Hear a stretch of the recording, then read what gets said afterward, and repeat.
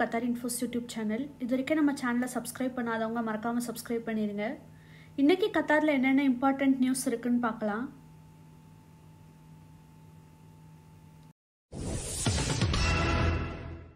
FIFA உலகக்கோப்பை Qatar ரெண்டாயிரத்தி இருபத்தி ரெண்டில் நேற்று என்னென்ன போட்டிகள் நடந்திருக்கு யார் வெற்றி பெற்றதுங்கிறத பார்க்கலாம்.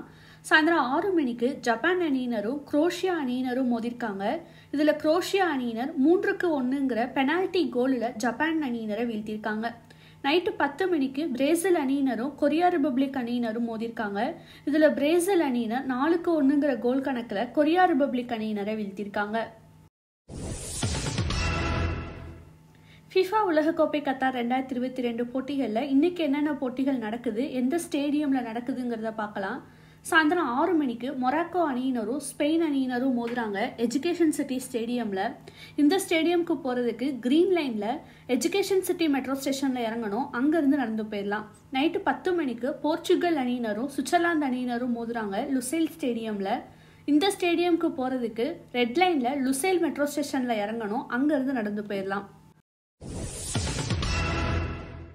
வளைகுடா ஒத்துழைப்பு கவுன்சில் அதாவது ஜிசிசியோட குடிமக்கள் மற்றும் குடியிருப்பாளர்கள் அண்ட் ஃபிஃபா உலகக்கோப்பைக்கான போட்டி டிக்கெட்டுகளை வச்சிருக்காத கால்பந்து ரசிகர்கள் ஹயா கார்டு இல்லாமல் கத்தாருக்குள்ள நுழைய அனுமதிக்கப்படுவாங்கன்னு உள்துறை அமைச்சகம் அறிவிச்சிருக்காங்க.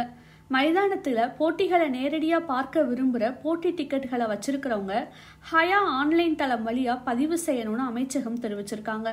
கத்தாருக்கு வர்ற ஜிசிசி நாடுகளோட குடிமக்கள் அண்ட் குடியிருப்பாளர்கள் இன்னைக்கு இருந்து ஹயா தளத்தில் பதிவு செய்யாமல் நுழைய முடியும்னு அமைச்சகம் தெளிவுபடுத்தியிருக்காங்க.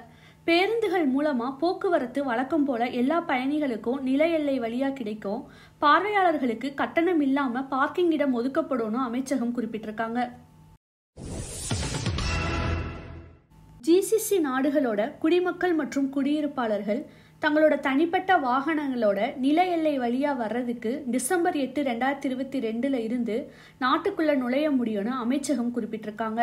அவங்களோட பயணத்துக்கு பன்னெண்டு மணி நேரத்துக்கு முன்னாடி உள்துறை அமைச்சகத்தோட இணையதளத்தில் அனுமதிக்கு விண்ணப்பிக்கணும்னு அமைச்சகம் தெளிவுபடுத்தியிருக்காங்க. இந்த அனுமதி வாங்குறதுக்கு எந்த கட்டணமும் தேவையில்லைன்னு அமைச்சகம் குறிப்பிட்டிருக்காங்க.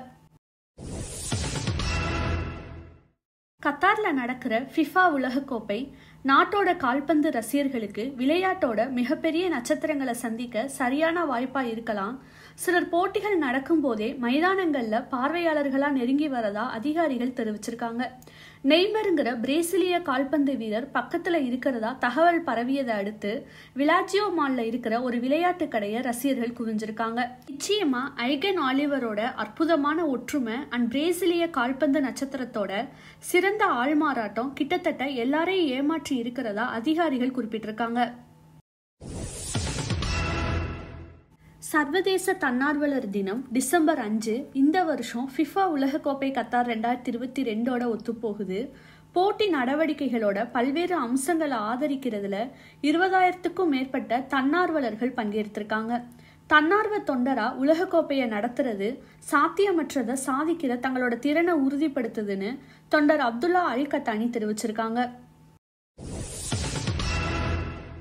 ஃபிஃபா உலகக்கோப்பை கத்தார் ரெண்டாயிரத்தி இருபத்தி ரெண்டு உலகம் முழுவதிலேயே இருந்து பல்வேறு நம்பிக்கைகள் அண்ட் கலாச்சார பின்னணிகளை கொண்ட ஏராளமான மக்களை கொண்டு வந்திருக்கிறதாகவும் இது ஒருவரையொருவர் நன்கு புரிஞ்சுக்கிறதுக்கும் சக வாழ்வை மேம்படுத்துறதுக்கும் ஒரு சிறந்த தளத்தை வழங்குறதாகவும் முக்கிய உள்ளூர் தொழிலதிபர் தெரிவிச்சிருக்காங்க.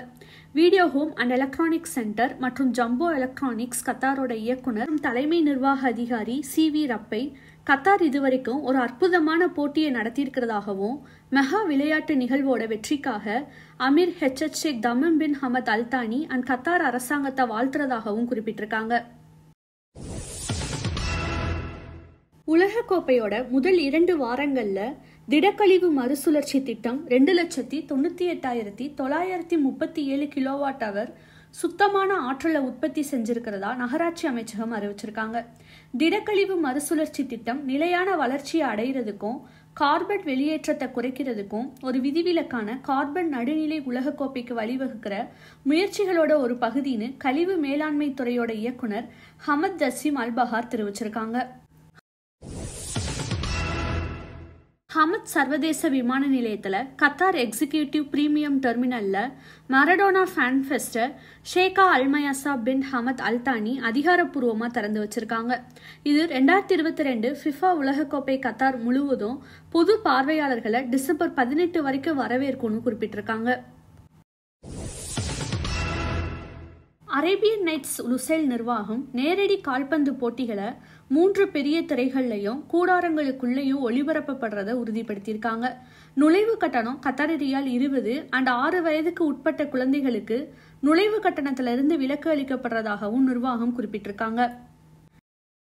இன்னைக்குரிய weather report அல்வக்ரால twenty five point nine degree Celsius மெசேஜில் twenty six point six degree Celsius அபுசம்ரால thirty point seven degree Celsius துக்கானில் twenty six point nine degree Celsius அல்ட்ரவைஸில் twenty five point seven degree Celsius தோஹாவில் twenty eight point seven degree Celsius இன்னைக்குரிய money exchange rate ஒரு Qatari riyal Indian ருப்பிக்கு twenty two point six nine one Sri Lankan ருப்பிக்கு ninety nine point eight six five Pakistani ருப்பிக்கு sixty one point six eight seven Bangladeshi தக்காக்கு twenty eight point one one seven Philippine பிசோக்கு fifteen point three five four இன்னைக்குரிய gold net rate இருபத்தி ரெண்டு carrot ஒரு gram இரநூத்தி ஏழு ரியாலுக்கு விற்பனை பண்ணுறாங்க இருபத்தி நாலு carrot ஒரு கிராம் இரநூத்தி இருபது ரியாலுக்கு விற்பனை பண்ணுறாங்க இந்த வீடியோ உங்களுக்கு யூஸ்ஃபுல்லாக இருக்கும்னு நினைக்கிறோம். இந்த வீடியோ உங்களுக்கு பிடிச்சிருந்துச்சுன்னா லைக் பண்ணுங்கள் ஷேர் பண்ணுங்கள் மறக்காமல் கத்தார் இன்ஃபோஸ் யூடியூப் சேனலுக்கு சப்ஸ்கிரைப் பண்ணுங்கள் தேங்க்ஸ் ஃபார் வாட்சிங்